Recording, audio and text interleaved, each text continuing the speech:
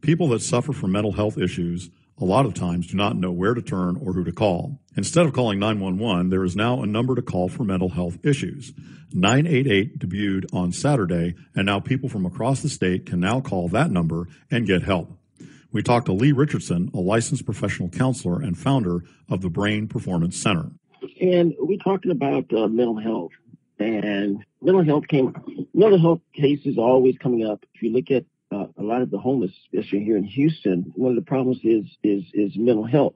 And and so, what what issues do you find with mental health? And how would how would you how would you know with cutbacks and everything? How would you try to um, increase the amount of help that goes into mental health? Well, mental health has been an issue. It's increased to be an issue for the last 10 years. Before, before the pandemic, one out of four Americans over the age of 12 suffered from either a mental health issue or a substance abuse issue.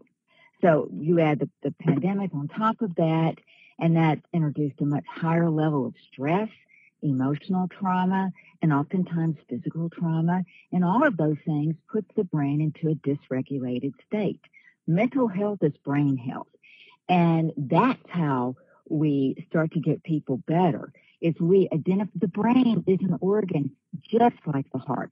If you hurt your leg and you're having a tough time walking, what's the first thing you do? You go to a doctor.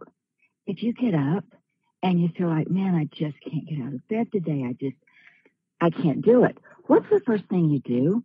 You have a nasty little conversation with yourself. Come on, man, power through.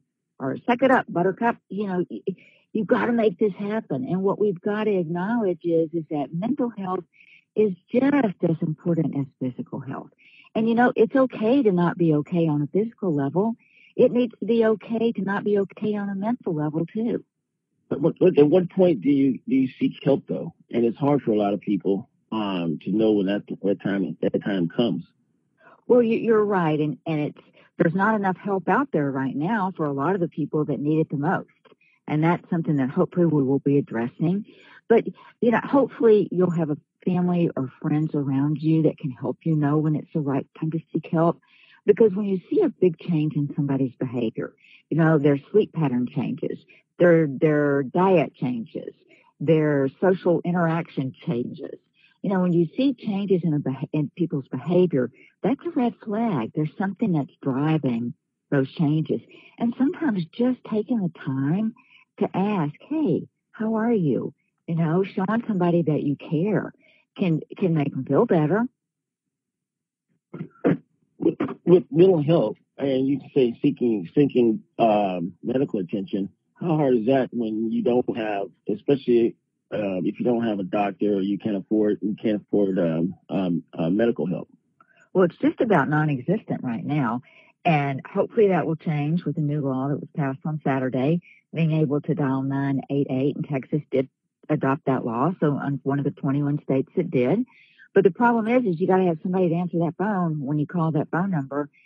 And, you know, that, that's something I think that as a social system we're struggling with. We've, we've identified there's a huge need because not everybody has a doctor.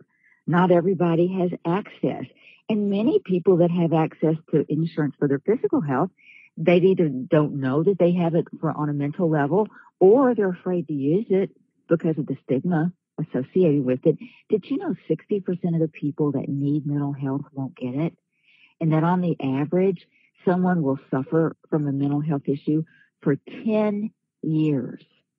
10 years before they do reach out and do something about it. That's a decade, man. Hmm.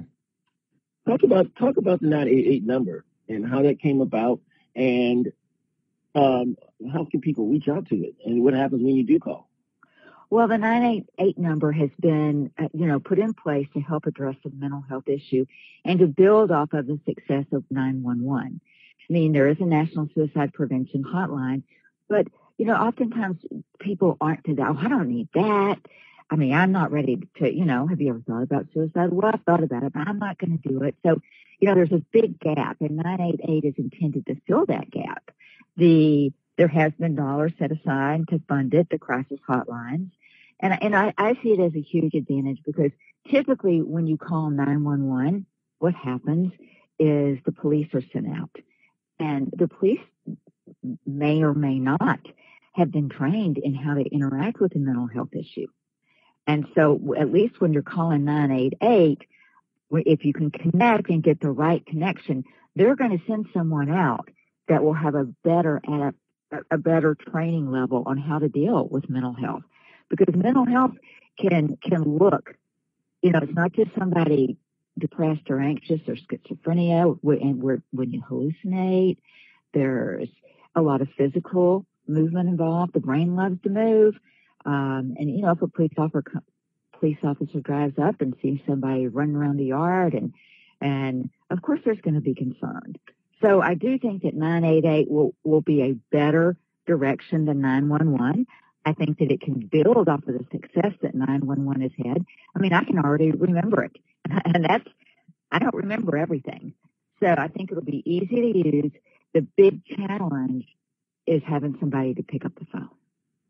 You mentioned law enforcement. Um, I know in Seattle, instead of um, when they were talking about um, cutting some some of police functions, um, one thing that was added was uh, a mental hate, a mental, a mental health uh, caseworkers that would go out instead of law enforcement going out, or or they would go out in support of law enforcement, and that that being helping um, uh, when you have cases, especially dealing with street people um, with mental with mental health issues, uh, having somebody that's a mental case um, that's a specialist in mental case mental health help out in those situations instead of uh, uh, law enforcement that's not sometimes not trained to deal with uh, mental case issues. That's something that needs to be expanded.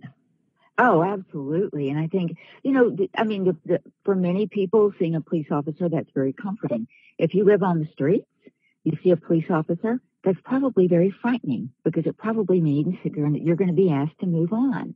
So just seeing somebody that, you know, from a um, physical appearance doesn't intimidate you will be helpful. And I think that it is something that, you know, we have to create an awareness. The, I wrote a book back in a couple of years ago, Turn Your Brain On to Get Your Game On. But, and the purpose of that book was for, to let people know it is okay to not be okay. We've got to create social change around the way that we view mental health. And that needs to be looked at on an organizational level, how organizations respond to their employees' need for mental health, needs to be looked at on a social level.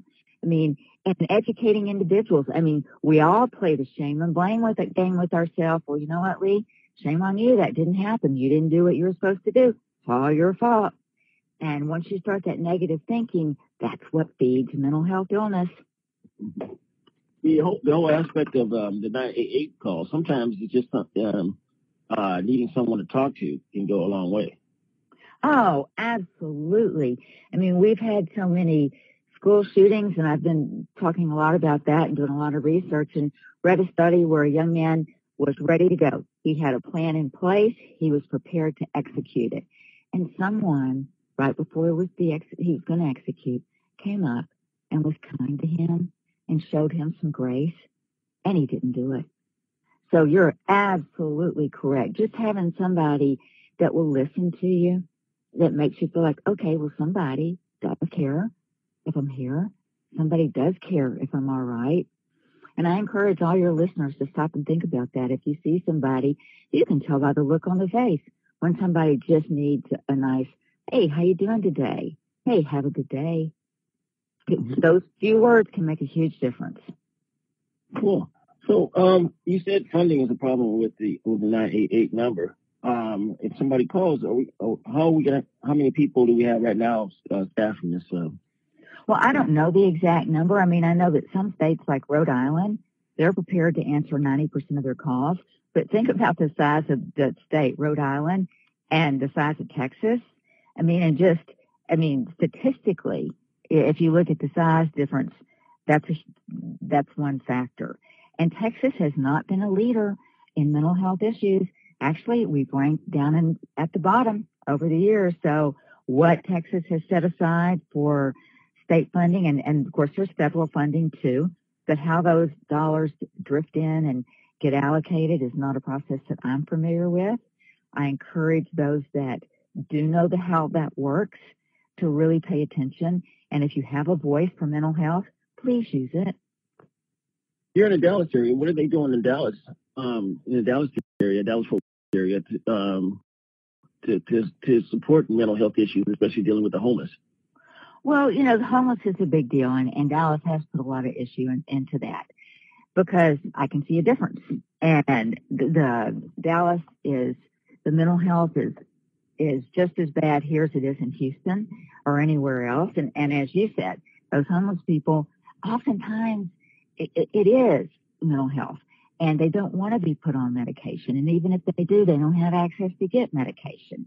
So there's a lot that to be done the Dallas has Mark Cuban is a big force in Dallas, and I have been very impressed with what he's done to get out and create awareness. Mental health matters.